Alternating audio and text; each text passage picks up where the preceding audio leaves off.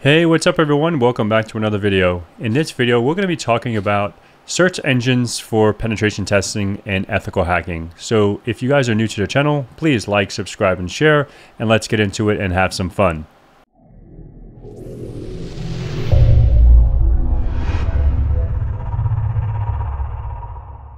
All right, guys, so let's get into it. So there, there is so many, so many tools that we can utilize as pen testers, as ethical hackers, as security researchers, whatever you want to call us, right? So I want to go over a few tools that I want to showcase today. And the first one here is Shodan. Shodan is pretty much a search engine for IoT devices connected to the internet, right? So whereas like maybe like if you go to google.com or bing.com or yahoo or whatever these other search engines you're searching maybe for like a website and you're doing maybe google dorking to get, in, get gather intel on a website. Here on the other hand this is going to gather in, insight on like the network connected uh, devices right? So for an example let, let's just go ahead and just put google.com up here if i can spell google.com and we can connect to google.com and see what's going on right we can see, okay, there's a million, there's probably a lot more than that, but there's, in the, in the States, there's 90, 90 almost 92,000, 91.5. So you can see here, google.com, how many connected devices, or maybe even using, let's see their DNS, right? Let's go ahead and go to 8.8.8.8. Let's go ahead and click on this and see that, for instance. We can click on that, hit search, and see what what's cooking. So obviously this is DNS. This is their DNS server. So you can see DNS.google. And I did this because it's less overwhelming. And now you can see in the United States, Google uh, LLC, you can see the autonomous system or ASN. So you can see here the open ports 53 and 443, which is HTTPS and DNS. And you can just get a little lay of the land. So why is this why is this cool? Say for example you got a client that ABC Incorporated hired you, you can go ahead and utilize this tool to check out some of their insight. So, funny story, quick story. I think I've said this before, and there was a test that I did, you know, way back when, and they they had a RDP server and a FTP server exposed to the internet, and I found it on Shodan with their IP address. And interesting enough, their RDP, which is 3389, was exposed and it was a server that they were testing with. There was a sysadmin was testing so he can remote in from home, and he didn't put it on a DMZ. He didn't really like segment that off the network. He just threw it up there, had a quick NAT rule to get you know that set up, and now he's exposing that to the world. So that was an entry point for us as testers to let them know, hey, like either take this down if it's not needed, or put it in in an environment that it cannot get to the production network because then it can be, you know, all hell can break, break loose. All right, so that's just a quick little story about my Shodan. And then we have Censys. Right, Censys is another tool that you can search for different devices, servers, etc. Let's just do, for example, the same thing. Let's just do 8.8.8.8. Okay, so let's just search this. We can see the, pretty much the same information. We can see a summary. We can see history. We can do WHOIS, which obviously we know who this is, it's Google. But you can use this tool as well with your client. You know, your client gives you their information, their IP address, their DNS names. You can see, okay, you can search for certificates. You know, what is their certificates? And there's so many other tools. I think it's crt.sh as well. That's another one. Let me see if that's it. I think it's, uh, let's just go to quick Google, crt.sh, I think. Yeah. So this is another one that you can utilize to check on different certificates. So say for example, we go to google.com. Let's just, uh, or you can do a CIDR notation. Let's do that instead. Let's just say, for example, this IP. Oh, there's nothing. And let's go back and just put 8.8.8. Let's go ahead and just do Google real quick. And let's see what comes up and hopefully they have their certificates. We'll give this a moment to cook and we can see all the certificates that are associated with Google Google's DNS server. So you can see that here, the log uh, logged at you know 10:15. Today is the 18th. So you guys get the gist. And you can click into this and you can get some more details about the certificate and all that good stuff to make sure it's it's good to go. But that's that's uh, not about this video, but I just wanted to put that out there as well. This is about pen testing uh, search engines that I utilize, and these are all ones that I've used. I'm pretty familiar with, and I'll give you a little overview overview on each one. So the next one is Hunter.io. Anytime you have a pen test or any kind of intel that you want to get, so say for example, you know you talk to maybe a recruiter, you can use this obviously to reach out to people too. In all honesty, so say for example, if I'm hiring at InfoSec Pat, and I, I, I called you up or whatever, we talked, and you didn't get my email because you forgot, right? Obviously, this is not going to work on like a gmail.com, but if you know, you know, maybe InfoSec Pat has a company, right? Like, let's go ahead and go to Finder on the left hand side here, and let's go ahead and just click on InfoSec Pat, right? We can just put infosecpat.com, and we can see, oh, maybe pat at infosecpat.com is an email that that is Patrick's, right? So let's go ahead and just copy this and send him an email and let's hopefully he gets it, right? So you can utilize this for that or you can utilize this for example if you're doing a test and it's a full black box test and you only have infosecpat.com that you're testing, what if you want to try to utilize some credentials against this person that we need to get a, maybe a word list. Maybe we need to understand how their naming convention is. Like for an example, this is pretty much first name at domain. But what if we use some some other company? Let's go back here and just put, for example, Tesla. Tesla. And let's go ahead and click on this, right? So we can see tesla.com. So we have Rico, we have first initial last name. It looks like, right? That's that's the naming convention here. So if I want to go ahead and add this to a campaign, save it as a lead because I want to email this person because maybe they are they're you know the CIO and we want to talk to them to see if they need any pen testing services. And we can look at here too the the sources. This is going to show us where this email is pulling from or any in information where this email resides, right? So you can see here, like this one has 13. We can see, okay, maybe there's a few deleted, but you can see maybe uh, Tesla, Texas. Maybe this, this person resides in Texas or this email, obviously Houston gallery yeah, makes sense, Texas. All right, you guys get the gist, hopefully. So the next one here is urlscan.io. This is pretty much a good one for sandboxing for the web.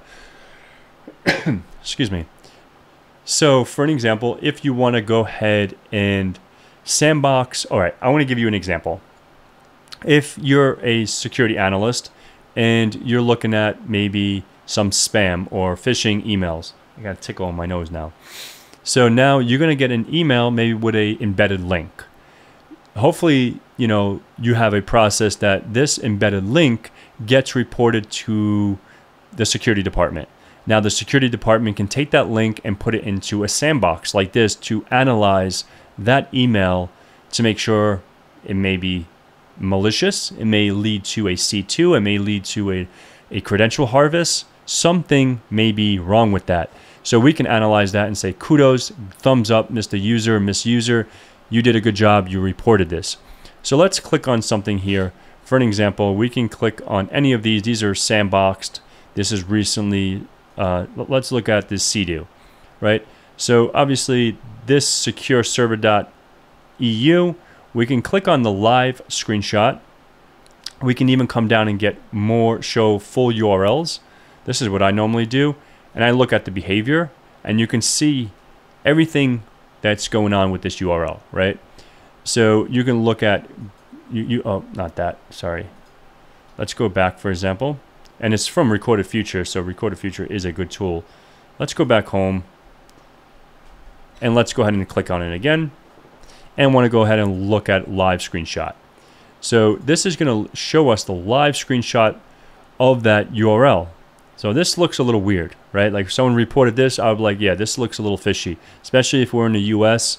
and someone's sending this over. Yeah, it doesn't look too uh, promising. So I would say remove it. Block, uh, I would block it and put that in the books, right? So that's the next tool. The next one is grep app. I want to start moving a little quicker, and you guys can do some research. And if you have any questions, you can put it in the comments or reach out to me, and we can, you know, take this conversation further. So the next one here is grep dot uh, grep.app. So what is this? This is pretty much a uh, a source code page. So say for example, I want to go look up, uh, let's see, graph graph runner right? Graph Runner, I think that's the name of this cool tool from awesome folks. So we have like, I think it's Graph Runner, and I think it was from Beau from Black Hills. Maybe I'm spelling it wrong. I thought it was, thought it was like that. Let me see. Um, anyhow, like you guys get the gist. You can go, you can go ahead and just click in. Maybe my spelling is off. I'm not sure, but you can see like now we can look at the code in here, and without this, you know, without this, this engine, the search engine, it would have never led us down the path of getting to their GitHub. So that's pretty much that. Let's say, for an example, uh, infosec pat. Um, no, I don't. I don't really have anything out there. Uh, let's see, for an example, TCM. I know TCM security has things out there, right? Because let's see, TCM security. So TCM, they have, you know, some people put ethical hacking for the PEH course or for the PNPT, you can see people putting stuff out there. Um, and I know another one, which is Pimp My Kali, right? That's also from them. Pimp My Kali, right? So we have DWAL right here. And you can say, okay, I want to check this out. You can click on this and you can get right to Pimp My Kali. So hopefully that's uh, that gives you a little insight about this this tool. The next one here is Intelligence X. So this is a good tool to do some OSINT. And if I want to go ahead and just put in, let's do infosecpat.com. Let's just use that for an example, infosecpat.com. And we can see what comes up with infosecpat.com, right? There's not much. This is all pro, like, so you need to have a pro edition. And, well, let's see, for example, one or Google 8.8.8.8. Let's see what's cooking here. Obviously, uh, I reached my limit. Whoops, sorry. So I can't really do anything until I sign in or sign up. But you guys get the gist. It's pretty much an open source uh, tool to do some OSINT. So the next one here is a Wi-Fi tool, right? So wigle.net is cool. So you can do like, it says all the networks find by, found by everyone, right? So you can go poke around. For an example, I can put like for New York City, right? And let's go ahead and check here. And we can actually click in. So say, for example, you're going to do a new pen test for someone in New York and want to go ahead and drill down into, let's see if we can drill down into there. And you can start seeing, I don't know why it looks all crazy, but you can drill really, really deep. Let's keep going, going, going.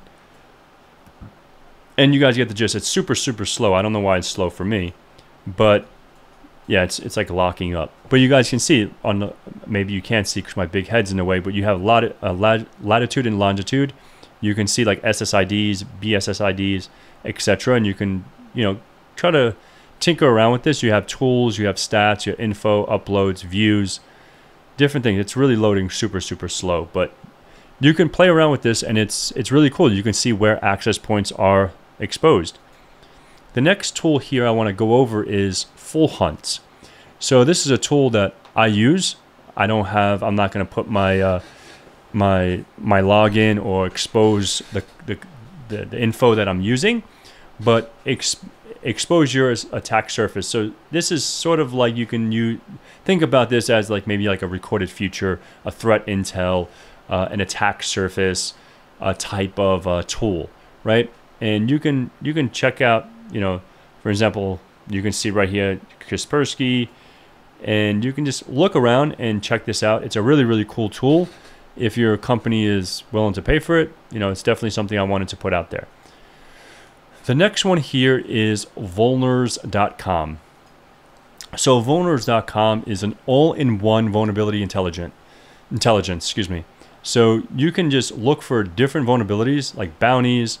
You can let's just search that, for example and you can go vendors like WordFence, which is a web application firewall from for WordPress.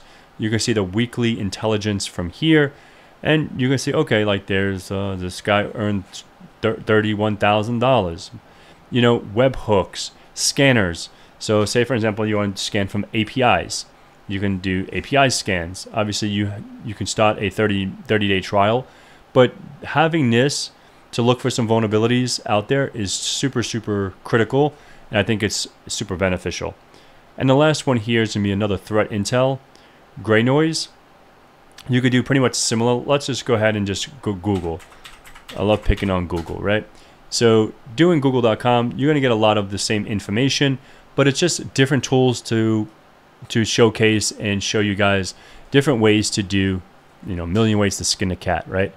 So yeah, this is pretty much google.com and you can see some description, the trust level, the category, last time it's updated, which is updated today. Today is the 18th. And that's pretty much all I wanted to showcase today.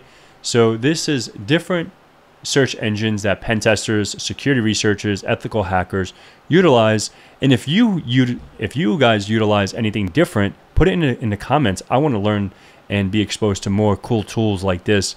So thank you so much for viewing, and I'll see you in the next one.